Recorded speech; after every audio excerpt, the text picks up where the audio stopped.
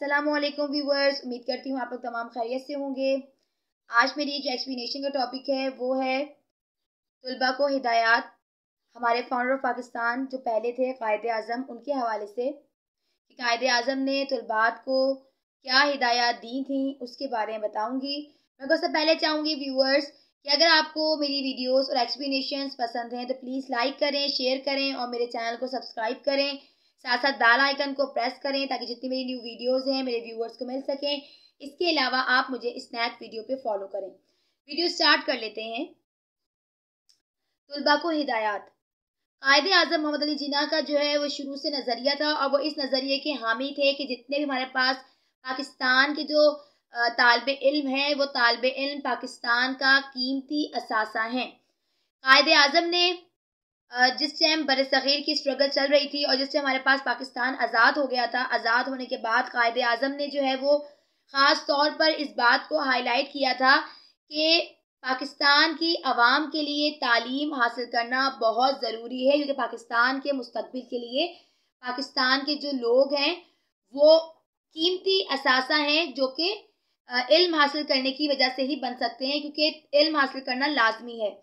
क़याम पाकिस्तान के बाद उन्होंने तलबा का जो किरदार था उसे सराहा भी और साथ साथ उन्होंने इस बात को बार बार जो है वो क़याम पाकिस्तान के बाद भी हाईलाइट किया कि तमाम जो तालब इल्म हैं उनको तालीम हासिल करना, जितने लोग हैं उन्हें तालीम हासिल करना ज़रूरी है और कायद अज़म ने यह भी कहा कि जब तमाम तलबात हमारे पास तालीम के मैदान में आ जाएँगे और इल्म हासिल करना शुरू कर देंगे तो उसके साथ साथ उन्होंने कहा कि ये एक तो मुल्क तरक्की करेगा और दूसरा कलम से में जो ताकत है, वो हमारे पास तलवार में भी नहीं है। क्योंकि तलवार की इतनी ताकत नहीं जितनी कलम की ताकत है तो कायद अज़म ने अपनी हिदायत में तमाम तलबा को जो है वो इल्म हासिल करने पर जो है बहुत ज़्यादा फोकस किया था कि तमाम जो लोग हैं वो इल्म हासिल करें। इसके साथ साथ क़याम पाकिस्तान के बाद जो है वो कायद अज़म ने जो है वो सोचा कि अब उन्हें सियासत से बाहर निकल आ जा, आना चाहिए, अलहदा हो जाना चाहिए, क्योंकि अब हमारे पास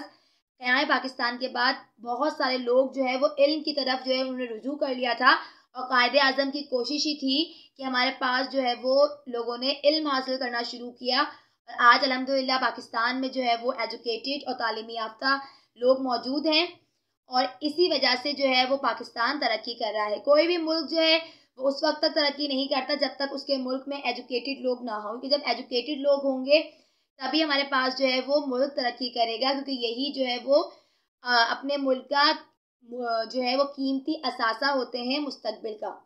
तो ये हिदायत थी कायद अज़म के हवाले से तलबात को और ये उस वक्त की हिदायत थी जब पाकिस्तान आज़ाद हुआ था। और अब तो तालीम हासिल करना लाजमी है। मस्ट है क्योंकि इस्लाम में भी जो है वो कहा गया है कि इल्म जो है वो मर्द, औरत दोनों पर लाजिम है और दोनों को जो है वो इल्म हासिल करना चाहिए क्योंकि इल्म से जो है वो अकल और शूर जो है वो पैदा होता है, अच्छे बुरे की तमीज़ आती है। तो ये थी मेरी थोड़ी सी एक्सप्लेनेशन उम्मीद करती हूँ पसंद आई होगी तो प्लीज़ लाइक करें शेयर करें और मेरे चैनल को लाजमी सब्सक्राइब करें।